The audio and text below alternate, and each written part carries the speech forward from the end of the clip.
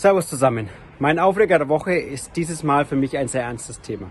Frau Esken hat öffentlich alle Polizistinnen und Polizisten unter Generalverdacht gestellt, Rassisten zu sein. Das ist für mich ein absolutes No-Go, ja ein Tabu. Wir sollten unseren Polizisten lieber dafür danken, dass sie jeden Tag für unseren Schutz und unsere Sicherheit sorgen und sie nicht unter Generalverdacht stellen. Wir sollten ihnen mit Respekt und Anerkennung entgegentreten und sie nicht öffentlich anklagen.